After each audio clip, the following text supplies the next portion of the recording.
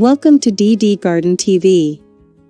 In this video, we will talk about how to make fertilizer from whey and the benefits it will bring us.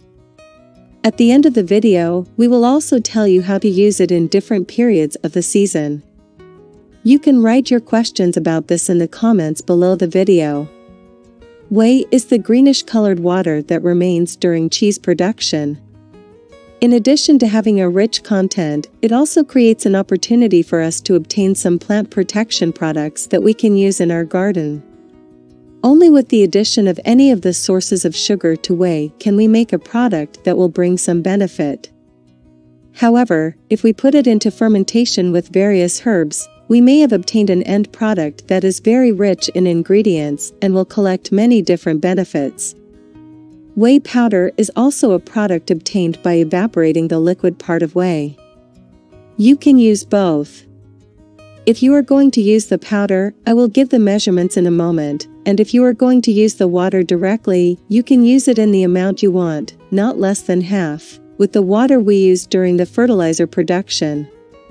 But the best result is to use whey completely. In just 10 grams of whey powder, apart from carbohydrates, vitamins and protein, there are sodium salts, 230 milligrams of potassium and 205 milligrams of calcium.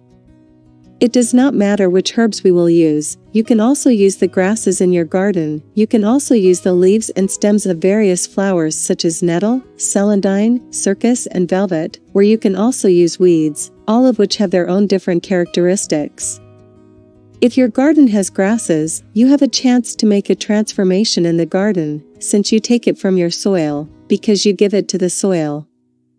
In a fertilizer where we want rich content, if you use a small amount of every herb you can find, you will get a product with a high content of plant nutrients, but our goal here is not only to obtain plant food. The nutrients that will come from the content of the herbs we use will be the plus part of the job. The most important part for us is that the lactic acid bacteria in the whey produce lactic acid and the lactic that the bifidobacteria will produce, and the antibacterial compounds that can increase the immunity of plants. With this kind of fertilizer preparation, we will kill many birds with one stone.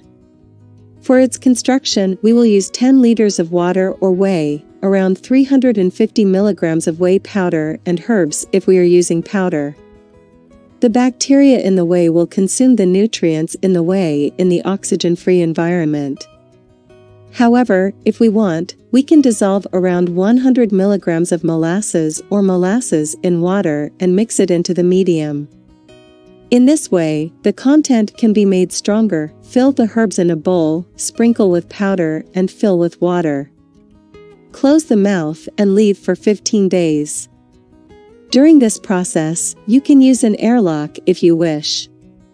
In a container with a tightly closed mouth, the lid is not easily opened. Even if it is turned on, close it again and continue the process.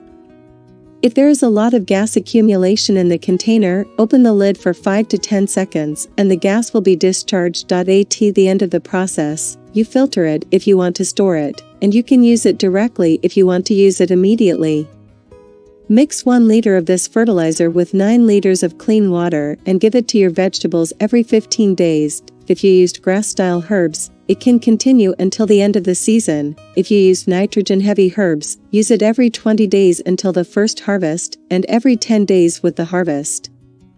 Towards the end of the season, you can dilute it in a ratio of 1 in 10, 1 in 7, and add 500 milliliters of fertilizer sorbet for rejuvenation fertilization. See you in another videos. We wish everyone beautiful gardens.